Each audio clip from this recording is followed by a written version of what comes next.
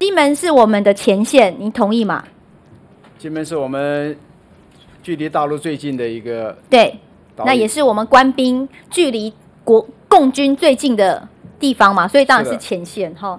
那可是呢，现在是实施落地签证，它每天是不限人数的，不限中国人数有多少，他们落地签证，在上个月四月的时候啊，就有超过十五万的中国人啊到达金门，对我们金门的防卫啊，对我们国军有没有威胁？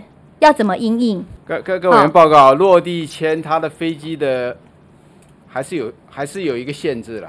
落地签没有去看过了，四月就已经来到十五万人啦。嗯好，那么现在我们的国军在那边驻扎也不到一万人啊，几千人而已嘛，是吗，部长？本席来假想一个状况啦，哈，就是有两万个解放军啊，全部都变装，也不持武器，他就用观光客的方式，落地签的方式到达金门，然后呢就地取材，因为金门也很多菜刀。传说中的厨具啊！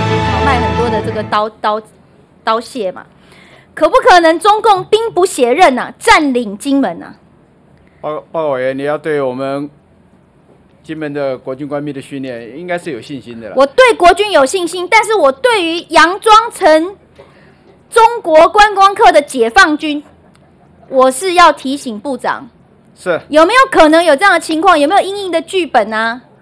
我们对这些啊、游客或对一些不明的啊、人士在我们营他超过两万人，你国军才几千人哦，哦然后他就地取材哦，本席这个刚才假想的这个情况，那你你写一套剧本给本席吧，好不好？可以吗？你可以回复本席吗？可以啊，好我会找林可以哈山市长可以到你办公室报告。好，就这样子、o k